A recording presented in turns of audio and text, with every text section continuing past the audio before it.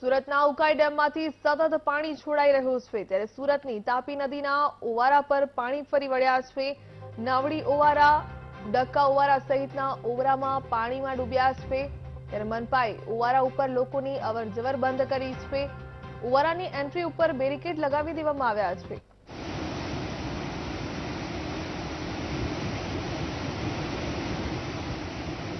સુરતથી સંવાદદાતા શૈલેષ ત્રિવેદી જોડાઈ ગયા છે. શૈલેષ ઉકાઈ ડેમમાંથી સતત પાણી છોડાઈ રહ્યું છે. તેને પગલે તાપી નદીના ઓવારાની સ્થિતિ કેવી જોવા મળી રહી છે?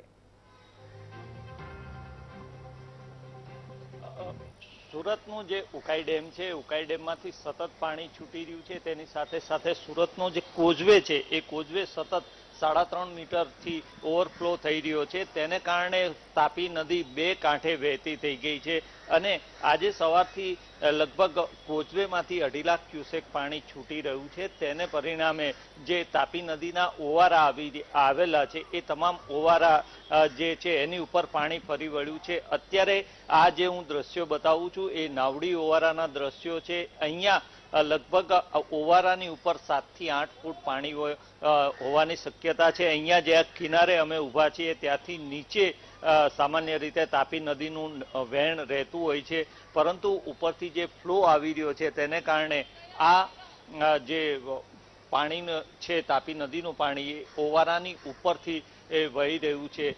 સાથે સાથે આ તાપી નદીનો ઓવારા જે છે, એ લોકો માટે, લોકોની આવન જાવન માટે બંધ કરી દેવામાં આવ્યા છે અને લોકોને રોડ ઉપર જ રોકી દેવામાં આવ્યા છે. ફાયર બ્રિગેડની સાથે સાથે અત્યારે પોલીસને પણ બોલાવવામાં આવી છે અને પોલીસનો બંદોબસ્ત પણ અહીંયા ગોઠવવામાં આવ્યો છે. તેનું કારણ એ છે કે અત્યારે જો લોકોનો ધસારો ઓવારા ઉપર થાય તો ખૂબ જ જોખમી બની શકે છે, કોઈ પણ અકસ્માત પણ બની શકે છે.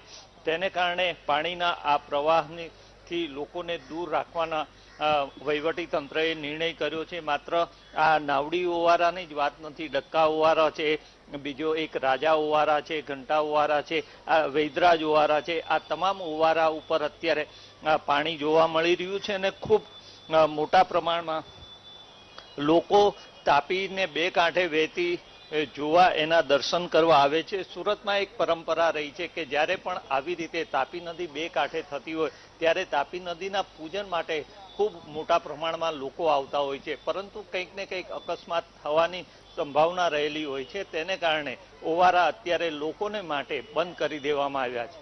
જી. બિલકુલ શૈલેષ, ધન્યવાદ. જોડાવા બદલ.